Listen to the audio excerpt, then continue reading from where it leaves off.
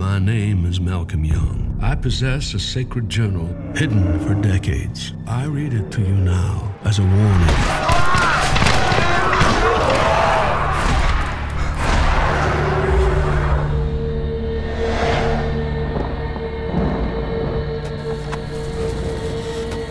It all started at the end of the war. I have come home to find my family in chaos.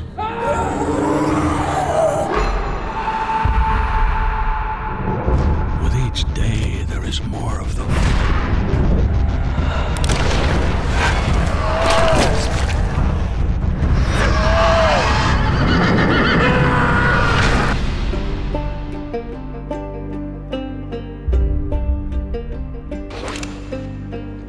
Man who's already dead. I kill lots of men who are already dead. I could use a fellow like you. It's my sister. She's been taken. Taken by who? General goes by the name of Williams. These men ain't hardly human. Not anymore. Howdy, boy. You used to fight with us? Why don't y'all go play your war game somewhere else? Son, I would have chose my words more wisely. What the hell are they doing here? Clear weakness out one by one. See who can survive it.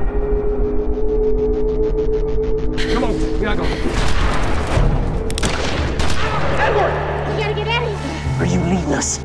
I know where we can go. We mean you no harm, man. Our friend is badly wounded near death. the wound gets infected, he will die. He needs to rest. It gets better than this, Edward. I thought I had survived the worst days.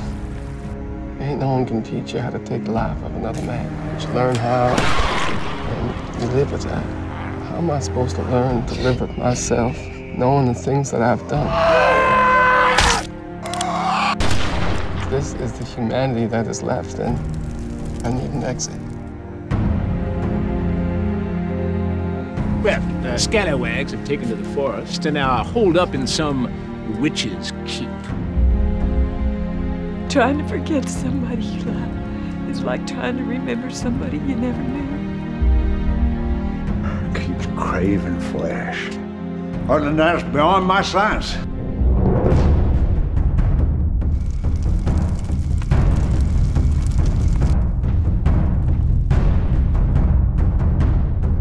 If you are reading this journal, then my intent is granted. This is Edward Young's untold story of the living dead.